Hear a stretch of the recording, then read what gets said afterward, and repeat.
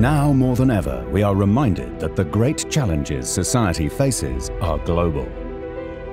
And we must work together to solve them. During these times of unprecedented change, the energy transition marches on. The 2020s is the decade of transformation. The decade when ambitious commitments on climate change must come to life. To avoid irreversible climate change, we need to transition faster to a clean energy future. We need extraordinary policies, solutions, strategies and ideas across three vital areas.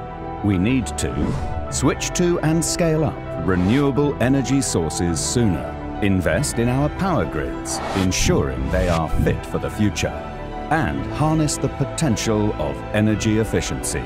The race against two degrees is on. We still have time, but the clock is ticking. By sharing innovations, solutions and ideas, we can close the emissions gap.